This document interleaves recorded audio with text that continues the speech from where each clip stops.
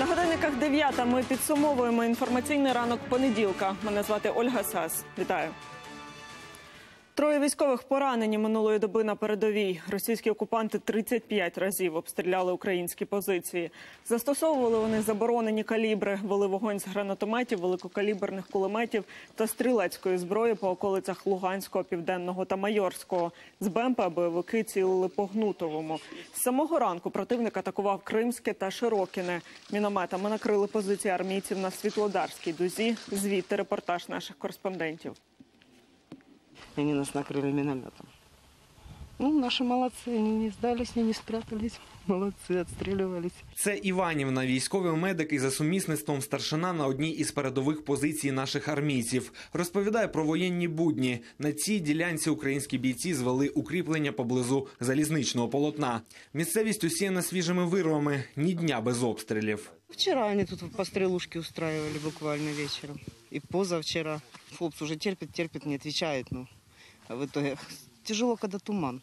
Перемир'я перемир'ям та відповідати на ворожий вогонь доводиться. Інакше противник не вгамується. Бійці жартують, можуть дати бойовикам гідну відсіч. Ось із цього кулемета Максим 44-го року випуску, хоч і не за стандартами НАТО, але надійний. Максим очень удобно, потому что у него настильный э, полет пули, и он насыпает хорошо, он как зернышки сеет. А ось це вже зброя серйозніша. Великокаліберний кулемет ВКВТ. Станина розробка волонтерів. Прицільно б'є на півтора кілометра і наскрізь прошиває БТР. Это наш один еще весомый аргумент. Это опять-таки все волонтерское, четырехкратный прицел производства Югославия, калибр 14,5.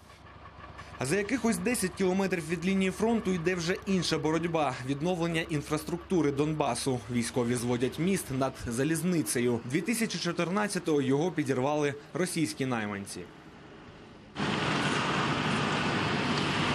На даний час проведені роботи з демонтажу конструкцій мосту, проведено укріплення конусів на 95% з залізобетоном. Проводяться роботи з монтажу балок прогонової будови номер 2 Прогонові будови 1 і 3 вже встановлені. Здати об'єкт в експлуатацію планують у листопаді нинішнього року. Це вже третій міст, який збудували наші військові за півтора року на Донбасі. Він має стратегічне значення, з'єднує дорогу Попас на Бахмут з Луганщини на Донеччину. Даніл Снісер, Ігор Левинок, Андрій Костюк, Антон Чиженко. Новини, телеканал Інтер. А напередодні бойовики обстріляли окуповану Горлівку. З району колишнього бетонного заводу окупанти випустили по житлових кварталах чотири міни. Повідомили у спільному центрі координації вогню. Також напередодні в день противник цілив по працівниках відомства вода Донбасу. Вони саме лагодили пошкодження на південно-донбаському водогоні. Ніхто не постраждав, але одразу після цього підконтрольні бойовикам інтернет-ресурси Приписали ці обстріли бійцям ЗСУ. Таким чином окупанти намагаються очорнити українських військових, заявили ВООЗ. У штабі об'єднаних сил показали фото звільненого хутора Вільний, який чотири роки був під контролем бойовиків. На знімках сліди обстрілів і руїни. Усього російські найманці знищили вісім будинків. Також у штабі повідомили, що напередодні відновили електропостачання в іншому звільненому від окупантів селищі Золотому 4 Звідти бойовиків вибили на початку липня. Стан здоров'я Олега Михайлика, борця з незаконними забудовами в Одесі, покращується. Поліція надала йому охорону. До розслідування замаху на правозахисника залучили СБУ. Нагадаю, на чоловіка напали в суботу ввечері. З вогнепальними пораненнями його доправили до лікарні. Усі деталі цієї історії розкажуть наші кореспонденти. Вогнепальне поранення, поранена рука і проникаючі поранення грудної клітини. На громадського активіста Одеси Олега Михайлика напали пізно ввечері біля під'їзду його будинку. Невідомі кілька разів вистрелили в чоловіка і зникли. У лікарню потерпілого доправили в тяжкому стані. В реанимационном отделении находится пациент, который получил пулевое огнестрельное ранение. Состояние больного стабильное, тяжелое. Производится дальнейшая консервативная терапия. Інформація про збройний напад на Михайлика з'явилася у Фейсбуці на сторінках його соратників. Потім цей факт підтвердили і в поліції. На думку активістів, головний мотив злочину громадська діяльність активіста. Такі люди, як Олег, вони заважають грабувати і гвалтувати е, наш народ і наше місто в даному випадку. От. е, І звісно, що це спротив отакий вже е, цинічний, кровавий спротив системи цієї влади, е, спротив е, пред- ну, найбільш активним громадянам. На своїй сторінці у Фейсбуці Олег Михайлик постійно висвітлював тему незаконних будівництв на узбережжях Одеси і не раз критикував міську владу на мітингах. Я знаю, что большинство из них абсолютно э, не интересует наши проблемы, они просто деребанят Одессу. И деребанить это они будут до тех пор, пока мы им будем позволять это делать. До речі, це вже не перший напад на одеського активіста. Рік тому двоє невідомих побили його біля входу в офіс. Тепер правоохоронці відкрили кримінальне провадження за статтею Замах на вбивство і шукають свідків нападу. Прискорити розшук злочинців вимагають і одесити. На підтримку Михайлика вони провели мітинг під управлінням місцевої поліції.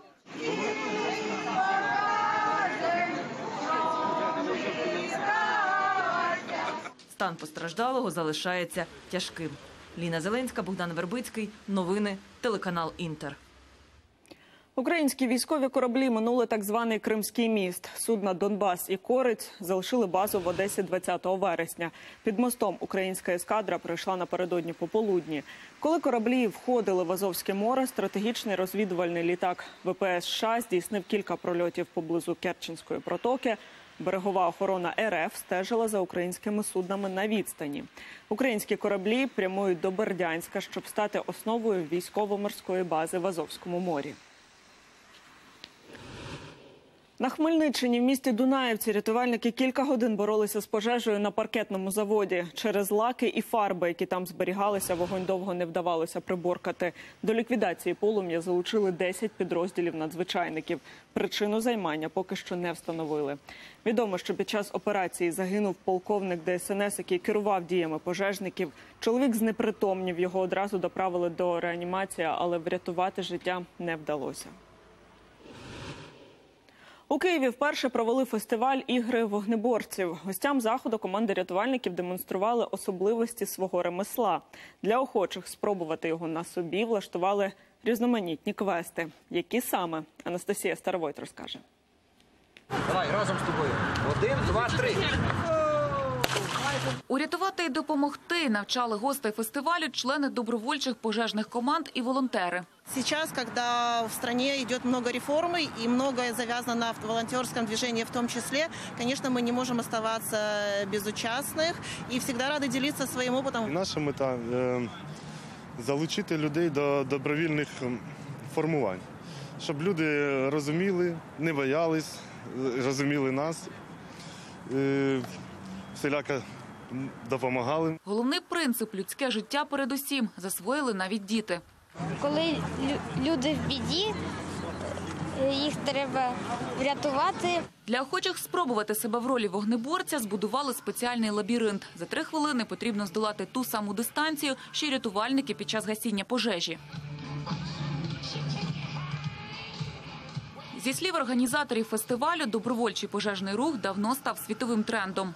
Во многих э, странах э, действуют добровольные пожарные бригады. Например, в Германии около миллиона жителей привлечены к э, добровольному пожарному движению. В Чили 100% э, пожарных являются добровольцами. Когда им хотели вводить зарплату, они отказались, потому что для них это престижное занятие. Таким же престижним це заняття бачать ідейники заходу і в нас. Основна мета, аби хоча б один відсоток українців поповнив лави вогнеборців-добровольців. Анастасія Старовець, Сергій Єрьомінко. Новини телеканал Інтер. Школа нова, проблеми старі. Майже півмільйона першокласників цього року розпочали навчання в новій реформованій українській школі.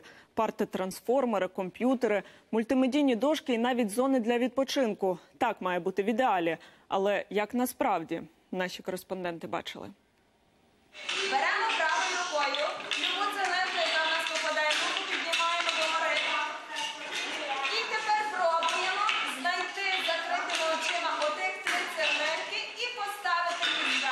Ось так, граючи, першокласники в більшівцях розвивають свої сенсорні здібності. З іграшок тільки різнокольорові кубики. Це все, що тут отримали для нової української школи. В ідеалі в класі має бути облаштована ціла ігрова зона з м'якими меблями, іграшками та килимом на підлозі, каже педагог. Держава не забезпечила нас всім необхідним для того, щоб ми могли правильно і так реалізовано впроваджувати ці нововведення. Тому що, на жаль, не маємо ще на сьогоднішній день ні підручника. Як ви бачите, не маємо в класі дошки. У цій школі за програмою НУШ навчаються і другокласники. З матеріальним забезпеченням у них ті ж самі проблеми. Диван і телевізор у клас торік придбали коштом батьків та підприємців. А ось парти, як і раніше, двомісні, старі. Я би, наприклад, хотіла тут парти мобільні, такі якби мали бути, правда, бо важко ці пересуваються. Але дякую за ті, які ми маємо. Без мобільних парт сьогодні й три перших класи Галицького ліцею. Підручники тут теж старі, бо ж нових ще не отримали. Наші вчителі мають мою вказівку. Не маєте книжки, коли вивчаєте я у світі. Будь ласка, виходимо е, на річку, виходимо в ліс. Ми вчимося рахувати, ми вчимося читати, ми вчимося писати по піску. Нічого страшного в цьому нема. Але ми живемо з надією, що ще якісь місяці ми все отримаємо. Гроші на оснащення нової української школи в області є, запевняють в облдепартаменті освіти. Отримали майже 50 мільйонів гривень державної субвенції і ще стільки ж з місцевих бюджетів та затримки з постачанням через тяганину під час тендерів. Вони пов'язані е, безпосередньо з недобросовісними учасниками, е, які беруть участь в тендерах. Е, В зв'язку з чим була необхідність відмінити тендер на меблі, зокрема, який був оголошений ще 18 травня. І тільки в середині серпня е, був укладений договір на меблі. З аналогічна ситуація з мультимедійним обладнанням. За підрахунками чиновників, на сьогодні понад 70% навчальних закладів уже всім забезпечені. Та ті школи, де побували ми, до цього переліку не увійшли. Іван Нейліна, Жанна Дучак, Зиновій Автонас, телеканал Інтер.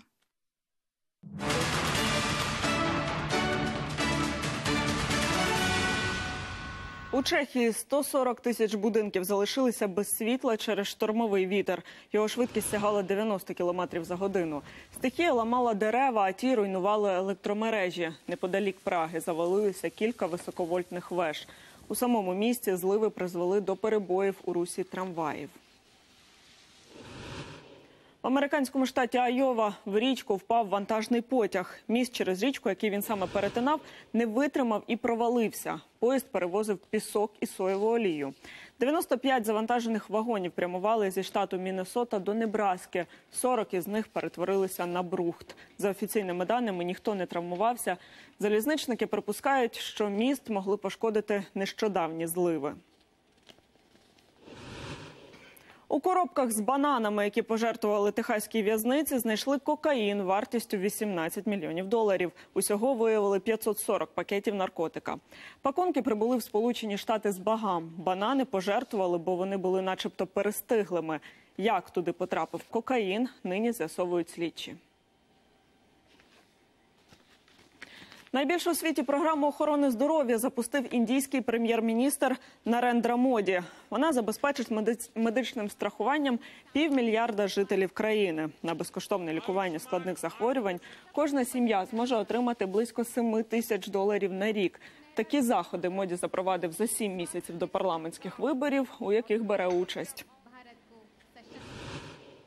У французьких Альпах відбувся 44-й повітряний карнавал. Розмаїття вишуканих костюмів, гучна музика та святковий настрій створили атмосферу надзвичайного дійства. Чим дивували та з якими складнощами зіткнулися парапланеристи в небі? Далі в сюжеті. Уже 44 роки поспіль наприкінці вересня небо у французьких Альпах прикрашають постаті британської монаршої родини, автомобілі Формули-1, жар-птиці, дракони та ще безліч чудернацьких істот. У такі костюми щороку вбираються сотні професійних парапланеристів, які з'їжджаються сюди на унікальний повітряний карнавал. А з трибун за ними стежать тисячі глядачів.